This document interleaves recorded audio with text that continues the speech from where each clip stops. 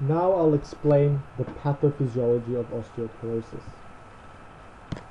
Now on the left you can see bone resorption carried out by osteoclasts, giant osteoclasts colored in red. And on the right there's bone formation carried out by osteoblasts, colored in blue. So, the binding of cytokines such as tumor necrosis factor or TNF to osteoclasts promotes bone resorption. Receptor activator of nuclear factor ligand or RANKL, a family member of TNF, plays the key role in this process. Now RANKL is secreted by osteoblasts and binds to the RANK ligand and RANK ligand binds to the receptors on osteoclasts, stimulating bone resorption. Osteoblasts also secrete macrophage colony stimulating factor, which is, or MCSF, which promotes the replication and proliferation of osteoclasts. They also have, well, osteoblasts also have a regulatory mechanism which reduces bone resorption by secreting osteoprotegerin or OPG, which acts as a decoy receptor capable of binding to RANKL and reduces the number of active osteoclasts.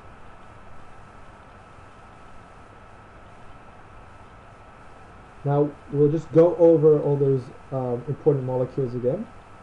So first of all we have MCSF and this promotes secreted by osteoblasts and it promotes the proliferation of osteoclasts. Next we have rank ligand which is also secreted by osteoblasts and they bind to osteoclasts increasing osteoclastic activity, increasing bone resorption. And last we have OPG which is secreted by osteoblasts and binds to RANKL, preventing it to bind to osteoclasts, lowering bone resorption. In postmenopausal women, the estrogen deficiency has a large impact on bone loss through the effects of hormones, TNF lymphocytes, and rank ligand, as well as other cytokines. This results in a marked increase in osteoclast activity and a decrease in osteoclast apoptosis. Estrogen normally decreases rank ligand and MCSF expression. As you can see on this diagram, there's one rank and one N, depicting low amounts in the bone, in the body. Thus, if there's low estrogen, there's a significant increase in the rate of bone resorption, leading to postmenopausal osteoporosis. So as you can see on the top diagram, there's a lot of there's a large expression of MCSF and rank ligand, increasing bone resorption. Prolonged use of glucocorticoids, glucocorticoids increases rank ligand expression, which in turn inhibits OPG production. Now this man here in this drawing, and if you can see the man, he's taking glucocorticoids. And the bone loss induced by diseases such as rheumatoid arthritis and other types of diseases are caused by the imbalance of cytokines affecting rank ligand and OPG expressions. Now so as you can see here, taking glucocorticoids depletes OPGs, thus rank ligands can bind to osteoclast, increasing its, its activity, osteoclastic activity, decreasing bone mass.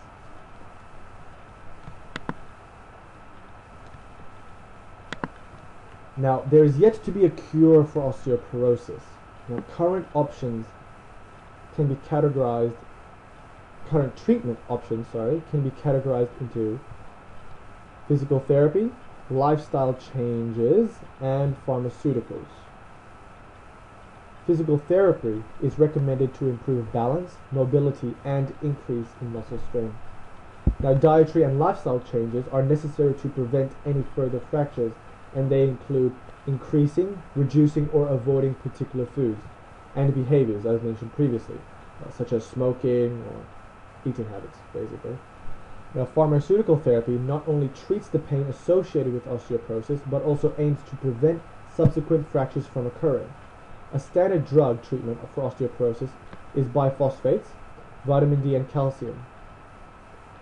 Now, bisphosphonates drugs work by inhibiting osteoclast activity or reducing osteoclast activity and promoting or increasing osteoblastic activity. Thus, there is there is a lower there's lower bone resorption, which means there there should be uh, it, sh- it should prevent subsequent fractures. And finally, here are the references. Um, please comment on this video, and if you have any questions, please leave a comment again or a message, and and please provide feedback. Anything would be appreciated. Thank you.